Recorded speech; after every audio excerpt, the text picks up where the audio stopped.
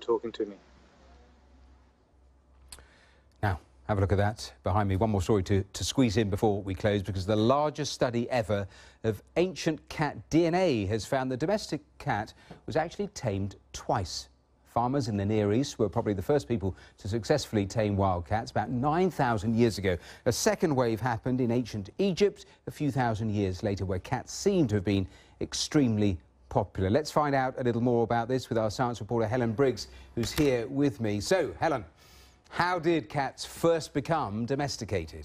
Well, if you think back to farming, so back to about nine, 10,000 years ago, so when farmers began to grow crops bring in grains, store these grains, then you got mice, you got rats uh, flocking around them. So wild cats um, started to move in. And wildcats are quite solitary creatures. They don't normally live alongside people, but they crept in, and that was the process where they started living alongside human beings and then um, started their great spread around the ancient world. And the spread, how, how did that actually happen?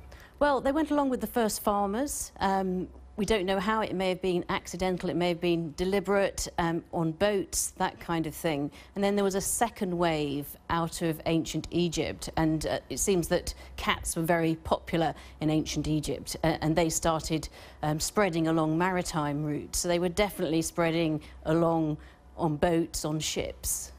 And it's fascinating how they've been actually discovering all of this. Tell me a little more about how they got the DNA, the sources, that sort of thing. Yeah, well, all sorts of things from mummified cats. They found in ancient Egyptian times sometimes cats were mummified from Stone Age sites, uh, all these sorts of areas where cats have been living alongside humans um, and, and have been buried and they extracted DNA from their teeth and from their bones to really look back into the past, a window into the past.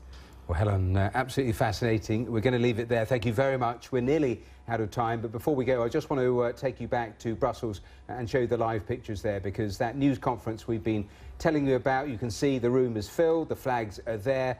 The first day of these Brexit negotiations, we are expecting uh, Michel Barnier and David Davis to come out and tell us how that first round